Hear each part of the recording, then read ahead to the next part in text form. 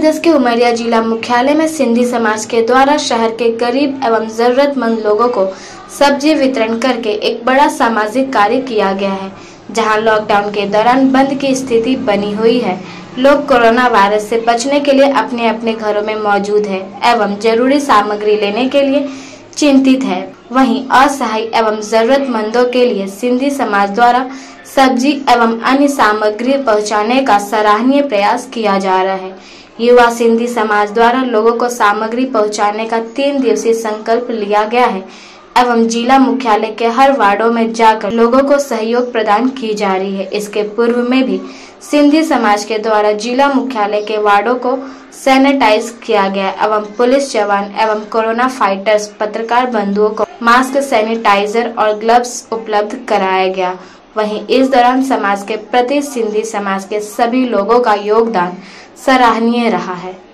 पेश है उमरिया से शंकर सिंह की यह खास रिपोर्ट। ये निर्णय लिया कि अन्य समाज के द्वारा जिस प्रकार जो है सहयोग किया जा रहा है, उस प्रकार हम लोग हम लोग भी विशेष रूप से आदिवासी बस्तियों जहाँ पर गरीब जनसंख्या, पिछड़ी जातियाँ रहती हैं, वहाँ पर लॉकडाउन का उल्लंघन ये लोग न करें और ये बाज़ार ना आए उनके लिए हम लोगों ने 10-10 किलो सब्ज़ी प्रत्येक घर को देने का निर्णय लिया और हम लोगों ने घर घर पहुँचाया, सब्ज़ी उनको पहुँचाया।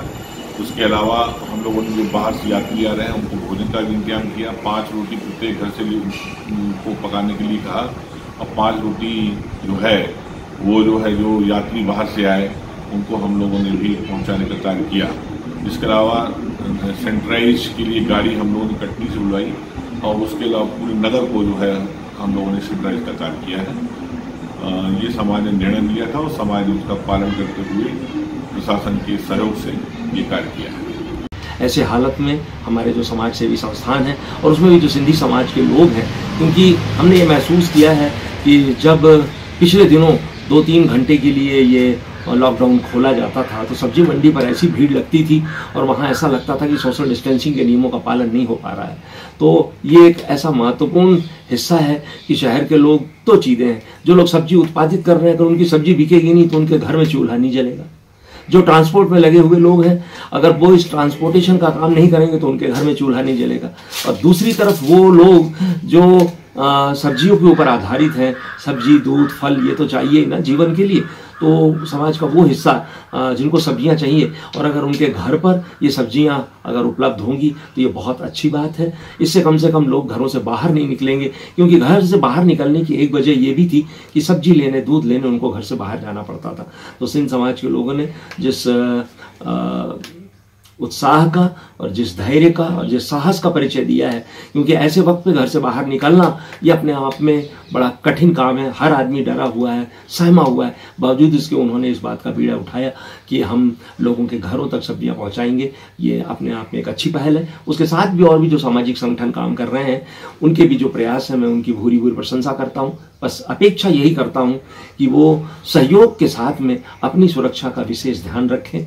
क्योंकि अगर कहीं कोई चूक या लापरवाही हो गई तो उसकी कोई भरपाई नहीं होगी। जो स्थिति है, वो है हमारे ग्रामीण समाज की, और ग्रामीण समाज के भी वो हिस्से जो दूर दराज है। हम कहते तो हैं, कहते तो हैं कि वो पहुँच भी हीन नहीं है, परंतु आज भी हम ये जानते हैं कि सड़कें किसी हद तक ही जा पाई हैं। उसके बाद में भी मोहल्ले टोले हैं, जहाँ पर दूर दराज पहाड़ों पे लोग निवास कर रहे हैं। उनके साथ और भी बड़ी कठिन समस्याएँ हैं। मैं वहाँ पर जहाँ सामाजिक संगठनों के लोग नहीं जाते हैं, पर वहाँ कम से कम पंचायतों के लोग हैं और ग्रामीण इलाकों में काम करने वाले सामाजिक संगठन, उनसे ये अपेक्षा करता हूँ कि उनके प्रति भी हमारी दृष्टि रहे, क्योंकि उनका पूरा का पूरी आवाजाही और पूरी की पूरी निर्भरता शहरों के ऊपर थी। वो अपने माइनर फॉरेस्ट प्रोड्यूस जिनको वो पैदा करते थे, उनको लेकर के शहरों में आते थे। आज अभी मुनगा तोड़ रहे हैं तो उसको बेचने के लिए शहर आ रहे हैं। कुछ चीज़, उत्पादन, तेंदू उत्पादित कर रहे थे। तेंदु अगर जंगल से ला रहे थे तो उसको बेचने शहर के लिए आ रहे थे। आज उनकी आवाजाही पर रोक लग गई है और उनके लिए कोई चूँकि सारे काम बंद पड़े हुए हैं खेतों में मजदूरी नहीं है रोज़गार गारंटी के काम हो नहीं रहे हैं ऐसी हालत में उनकी स्थितियाँ बहुत खराब हैं। तो मैं अपेक्षा करता हूँ प्रशासन के लोगों से पंचायत के लोगों से और सामाजिक कार्यकर्ताओं से उनका जहाँ नेटवर्क हो ऐसे ग्रामीण दूर दराज पहुँच विहीन इलाकों पर भी आ, अपना अपनी दृष्टि ले जाएँ अपने कार्यकर्ताओं को ले जाएँ और लोगों का सहयोग करें। प्रधानमंत्री ने जो आदेश दिया है लॉकडाउन का लॉकडाउन का उसका हम पालन कर रहे हैं। हर घर में जाके जो बाज़ार निकलना बंद हुआ है जो घर में रहने का सख्ती आदेश आया है वो गरीब लोग नहीं निकल पा रहे हैं घर से। उनके लिए हम घर घर जाके सब्ज़ियाँ वितरण कर रहे हैं और सबको यही समझा रहे हैं कि भाई दूरियाँ बनाए रखें और घर में ही रहें अच्छे से प्रधानमंत्री जी ने बोला है कि भाई सभी लोग घरों में रहें सुरक्षित रहें और जो लोग बाज़ार नहीं जा पाते हैं तो हम लोगों ने, हमारे पूज्य संधि पंचायत ने, उमरिया द्वारा ये निर्णय लिया गया बैठक में कि क्यों ना हम उन गरीब असहाय गरीबों के यहाँ सब्ज़ियाँ वितरित की जाएँ। तो जिसके तहत हम लोगों ने कल से सभी वार्डों में गरीब आदिवासी बस्तियों में जाकर सब्ज़ियाँ वितरित कर रहे हैं और लोगों को ये बोल रहे हैं कि भाई आप घरों में रहें, सुरक्षित रहें, आपको किसी तरह की कोई कमी नहीं होने दी जाएगी। हमारे समाज द्वारा ये, एक मानव सेवा ही माधव सेवा है, उसको देखते हुए ये निर्णय लिया गया है। अब ये लॉकडाउन के चलते पूरे देश में लोग घरों के भीतर भूखों मर रहे हैं।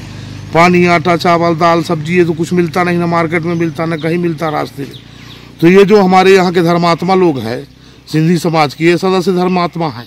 ये धर्मात्मा, ये धर्मदान पुण्य करते रहते हैं तो घर घर में जा जा कर गरीबों को रोटी, पानी, सब्ज़ी, दाल, चावल, आटा पिसान पानी, ये सब पहुँचा करके ये बहुत सराहनीय काम कर रहे हैं। धन्यवाद है इन लोगों को।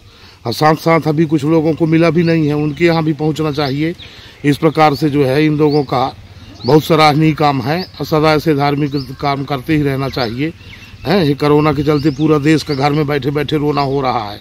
अब बेचारे कुछ भूखे हैं, कुछ खाए हैं, कुछ बिन खाए हैं, बच्चे मर रहे हैं भूखों घर के भीतर। आटा, चावल, दाल मिलता नहीं है, पानी मिलता नहीं, मार्केट में कोई सामान मिलता नहीं है। तो इसलिए जो ये कर रहे हैं धर्मात्मा लोग, समस्त समाज के लोग तो सबसे हमारा अनुग्रह है। Música